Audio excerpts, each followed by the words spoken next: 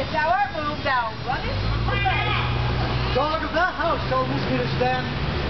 I'll take the wall of any man or maid upon you. Thou shalt be a weak slave, for only the weakest goes to the wall. That is true. And therefore, women, being the weaker vessels, are ever thrust to the wall. Therefore, I shall push Montague's men from the wall and thrust his maids to the wall. The quarrel is between our masters and us, their men. Hey, tis all one. I shall show myself a tyrant. When I have fought with the men, I'll be civil to the maids. I'll cut off their heads. The heads of the maids. Aye, the heads of the maids, the maiden heads, taken what sense thou wilt. They were taken in the sense that feel it. Oh, me they shall feel, uh, so long as I'm able to stand. Now, 'tis known, I'm a pretty piece of flesh.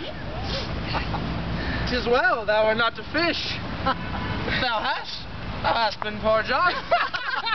Draw thy tool. It comes of the house of Montague. My naked weapon is out. Quarrel. I will back thee. How? Turn thy back and run. Oh, fear me not. Marry, I fear thee. Yeah? Let us take the law of our side. Let them begin.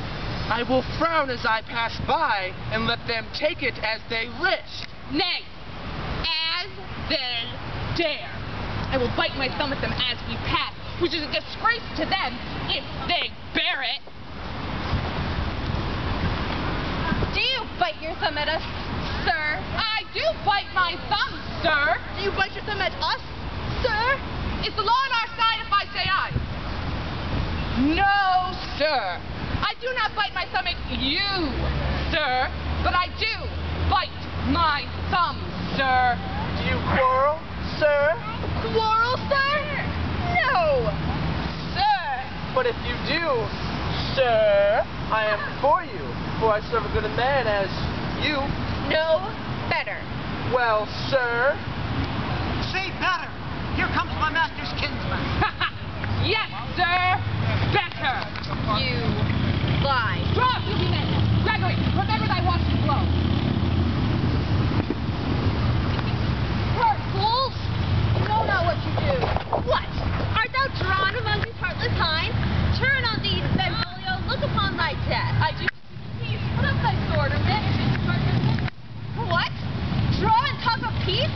I hate the word, as I hate hell, all Montagues, and thee.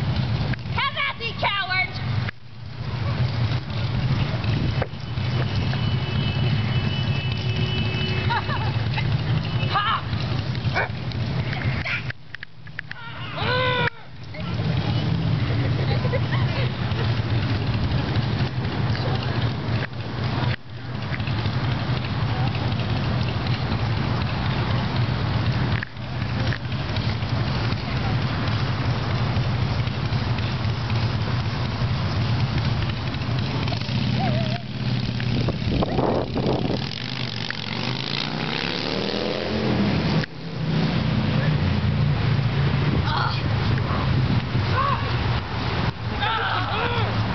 Rebellious subjects!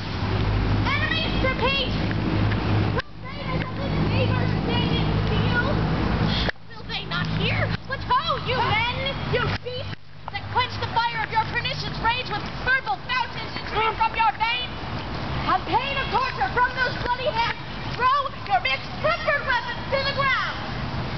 And hear the sentence of your moving prince! Free civil rule! Every word hath the right to disturb the quiet of our streets, and make Verona's ancient citizens catch by their grave the gleaming ornaments to wield old partisans in hands as old. Cankered with peace to part, your cankered hate. If ever you disturb our streets again, your lives shall pay the forfeit of the peace. Once more, on pain of death, all men depart!